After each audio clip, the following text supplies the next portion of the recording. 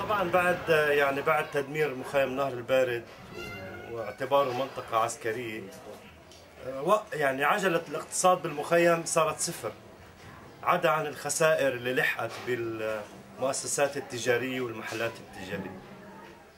طبعا الآن آه، بعض المحلات بدأت يعني تفتح أبوابها بالمخيم. آه، شيء بتمويل من بعض المؤسسات شيء باعتماد على الشخص نفسه. لكن هاي لحد الآن عجلة الاقتصاد ما زالت بطيئة. نتيجة إنه المخيم مقفل مغلق ممنوع آه، حدا يفوت من برا لبنانيين.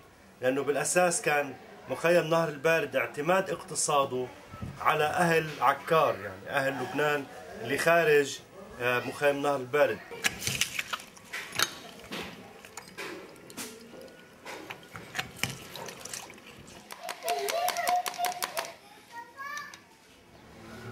موضوع البطالة أتعس موضوع بيعيشوا بيعيشوا بيعيش الشعب هون طبعا في ناس بتشتغل بس مش شغل دائم زي ما قلت لك. يعني ما شغل دائم إنه أنا بقدر أشتغل فيه شغل دائم لا بشتغل فترة وبقعد. هاي كمان بطالة يعني. في كثير أرباب عائلات ما عندهم عمل نتيجة الظروف الصعبة اللي بنعيشها. نتيجة عدم وجود فرص عمل.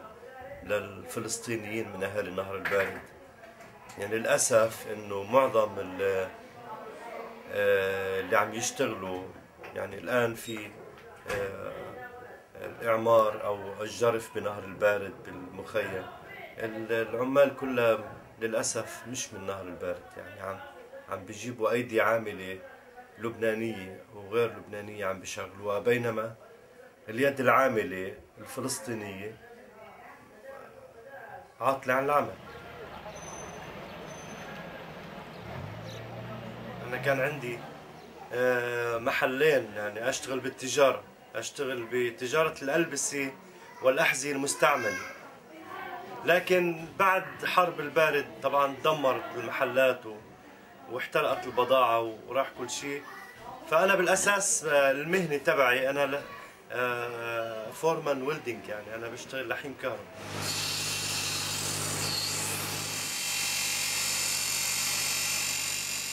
كنت أشتغل في مصنع المصنع بمنطقة بالكورة. طبعا هذا المصنع آه، يعني ما في عندي ضمان اجتماعي ما في عندي آه، مش شهري أنا يومي. ف وكوني فلسطيني كمان مش مضمون. يعني في أي ساعة ممكن يقولوا لي يخلص المشروع خلاص روح على البيت. فعشان هيك إنه في بعض الأحيان أشتغل آه، شهر أشتغل شهرين ثلاثة ورا بعض. وبس يخف الشغل. أول واحد يقولوا له على البيت هو أنا. لأنه أنا وضعي مش قانوني اجمالا. هيك بالنسبة لقانون اللبناني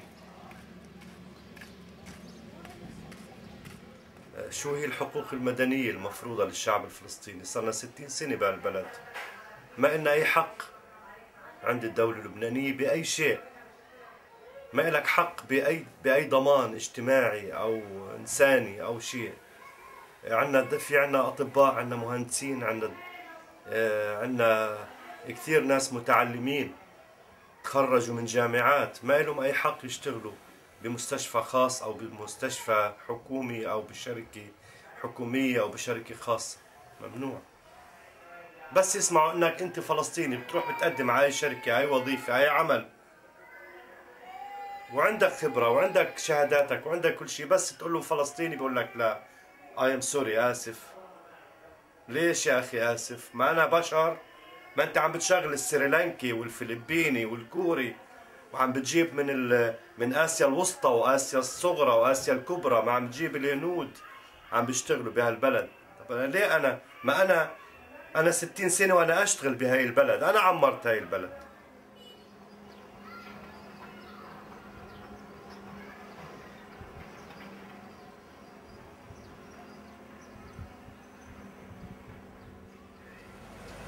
بحس إنه ما فيش مستقبل يعني. بس بحس إنه ببلش أفكر بالمستقبل لما ترجع الحياة الطبيعية للمخيم.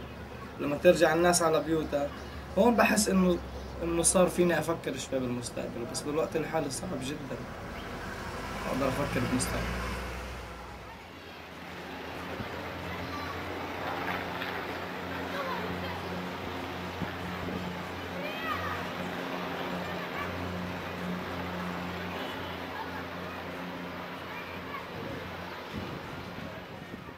يعني أنا واولادي أنا عندي محمد محمد من النشطين في مجال العمل مع المؤسسات.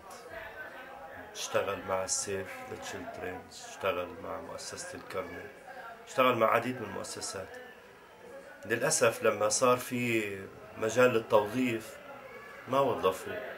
يعني استقدموا ناس عندها كفاءات أكبر وخبرة أكثر أنا تمنيت كنت أتمنى أشتغل بشغلتي اللي هي المحاسبة. كنت أتمنى إنه أنا دارس هاي المهنة وبحب هاي المهنة أشتغل فيها. ما أروح أشتغل شيء تاني. فقدمت كتير وسعيت كتير لهذا الموضوع بس للأسف بدون نتيجة. اشتغلت مع مع خطيب أختي بالعمار وكانت أول تجربة لإلي. تجربة كتير صعبة يعني شخص ما بيعرف ما بيعرف بهاي القصص ويروح يشتغل فيها وشغلة العمار عن جد صعبة. يعني رحت اشتغلت فيها تعبت. يعني صعب صعب وكنت متخصص بالحديد أنا. أنا والجروب اللي معي. كنا متخصصين بالحديد يعني نحط للسقف حديد مثل هيك. نحط له حديد.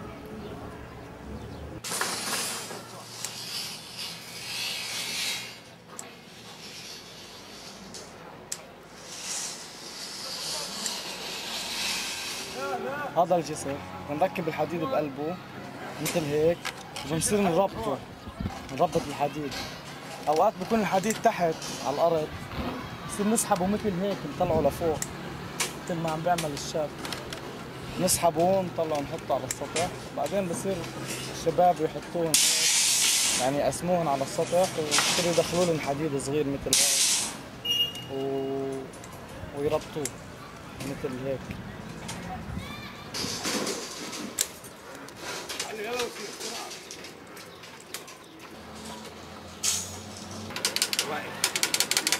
يعني ما فيش شغل تاني أو ما فيش مهرب تاني أروح أهرب من هذا الشغل الصعب أروح أشتغل بشغل سهل.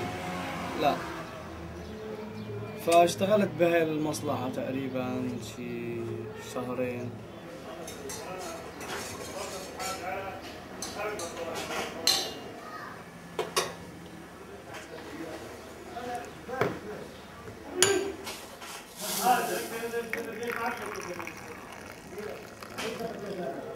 حياتي أنا اليومية روتين. يعني عاطل عن العمل صار لي فترة. أكيد آه، صعبة إنك في عندك 24 ساعة. يعني بقضيها أحيانا وأغلب الأحيان بقضيها على البحر بصيد سمك. لأنه ما فيش أي مساعدات يعني للأسف. وأنا الوحيد بعائلتي اللي بشتغل.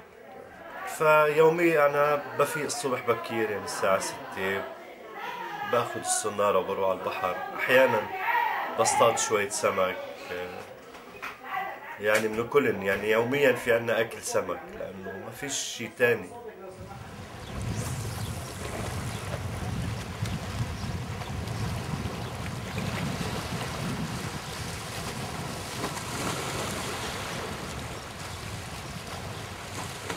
أول امبارح آه، طلعت شوية سمك بعتهم ب 14000 لأنه كنا قبل بيوم صيدين وعاملين سمك.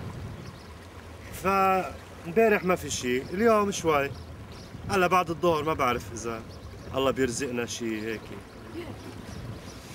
الحمد لله على كل حال يعني هاي عشتنا وهاي آه، ما في مهرب من هالمعيشة. شو بدك تعمل يعني؟